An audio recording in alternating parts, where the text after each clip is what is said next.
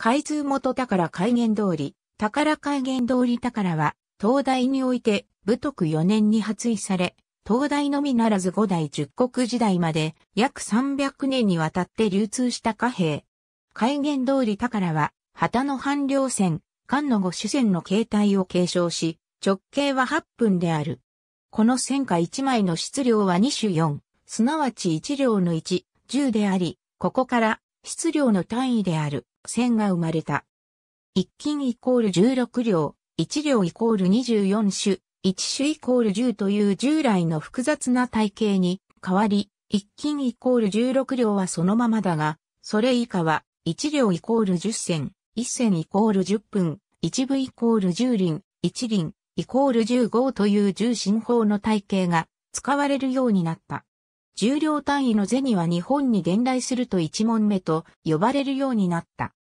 宋代になっても海源通り宝は宋銭とともに中国で現役で流通しており、日本でもトライ線として宋銭などと共に使われていた。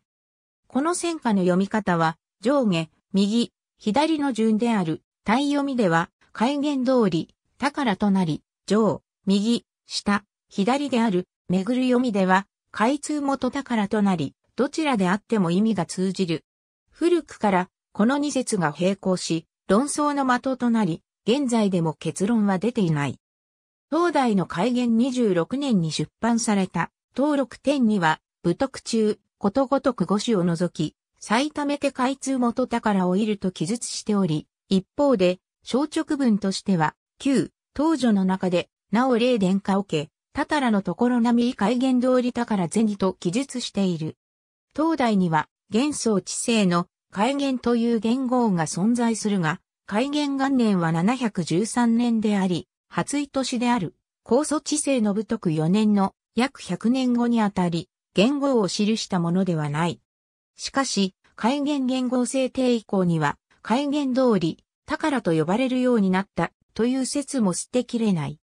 なお、東大の他の動線を見ると、使命知性の順天元年の元号を記す、順天元宝や、大暦4年初位の大暦元宝では、元宝が、県中元年初位の県中通り宝では、通り宝が使われるなど、元宝、通り、宝の両方の使用例がある。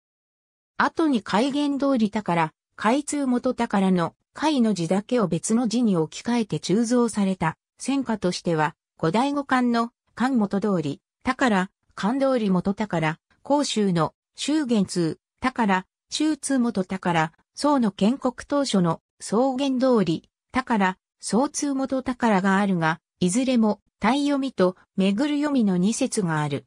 この円形型項の形式は新末まで続き、日本や朝鮮、ベトナムなど周辺国の動線の模範にもなった。ありがとうございます。